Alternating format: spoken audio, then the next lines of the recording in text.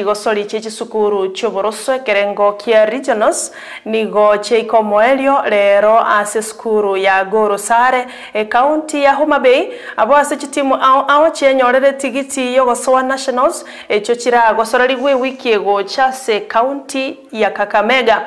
Abateneri b'echigosori ecio uh, nigo batagokera machibu ye chisukuru korwa ase kaunti ya kisi anene magega ya chionsi goikorwa ase chisemi final hicho.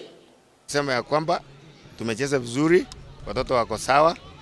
Eh, ijapokuwa kaunti yetu Kisii tumeshindwa semifinals kama mechi zote saba.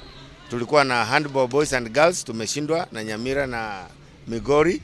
Tulikuwa na netball girls primary tumeshindwa, alafu JS tumeshindwa volleyball boys kutoka Kefute.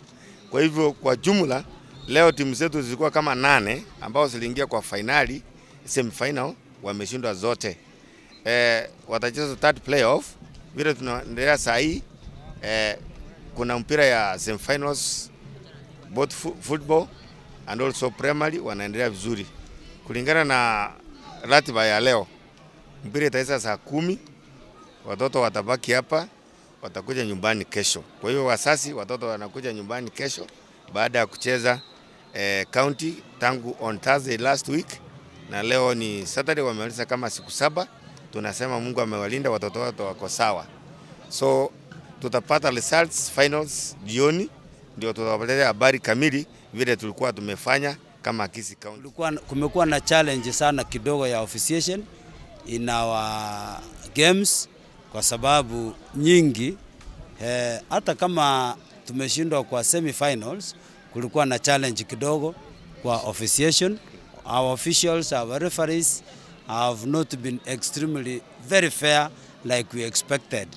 Na hata kama tuko na hii challenge, kuna hii challenge ya regional balancing. Sometimes other regions wanaleta referees who are not very qualified, who are not very fair. Na hiyo it cause our teams na and we don't take that light, lightly.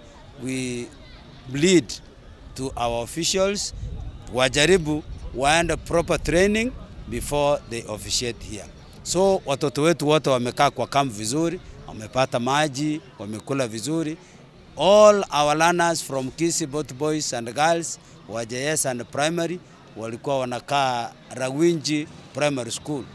The compound was security was there na walimu wetu wale ambao tulikuwa nao coaches na wengine wametunza watoto wetu vizuri, hasa wamekula na wamecheza vizuri.